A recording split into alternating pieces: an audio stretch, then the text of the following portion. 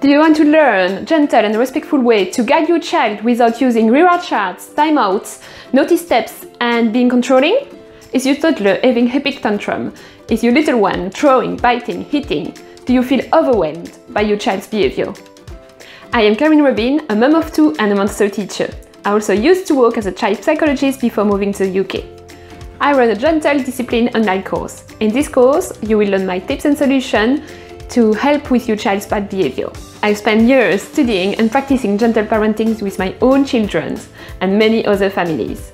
I have also an extensive knowledge of the child's development stages. I will help you to understand your child's behavior and why he behaves that way. I will give you tips to handle tantrums. It's a great training if you have a child under 6 and you want to understand why well-known discipline methods such as naughty steps, timeout, reward charts and excessive praise might not be the best for your child. In this group, I will offer you a dedicated support and answer all your questions about discipline. Booking are only open until the 15th of October. Book quickly because this course is not going to be offered again until next year.